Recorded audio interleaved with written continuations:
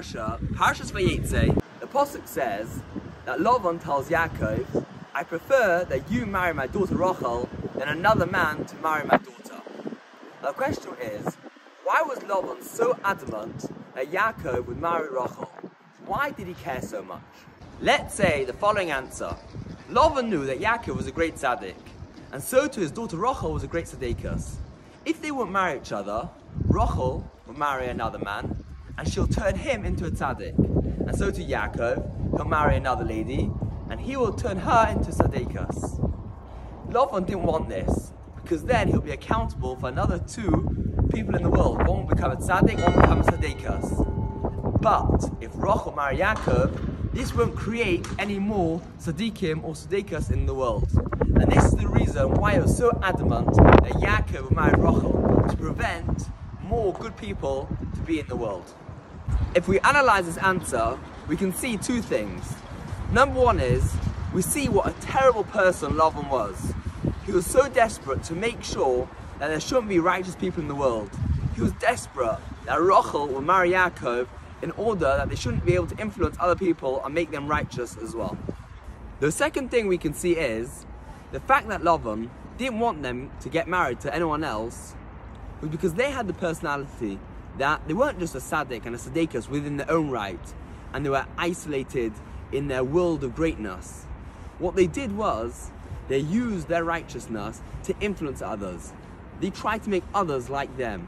They were a great tzaddik, she was a great tzaddikus, and they wanted other people to also be able to come up to their level. And that's why he knew if they wouldn't get married to each other, they'll be influencing others and making them into a tzaddik and a tzaddikus. This is what a true tzaddik should be like. He shouldn't be locked up in his own world of greatness. He should be able to use his high levels to give over to people who are on a lower level, to bring them up to him where he is holding. This is exactly what Yaakov and Rachel had. They were on a great level, but they were able to influence other and make them great as well. Let's relate the following story, which really shows this idea. A young boy once asked his father, Would Reb Nosson Tzvi Finkel, the Rosh Yeshiva of Mir, learn with me? So the father said to him, Write him a letter and I'll deliver it and let's see what will happen. So the father delivers this handwritten letter by this young boy, Can I learn with Reb Nosson Tzvi? The next day he got a letter back in the post saying, Sure you can learn with me.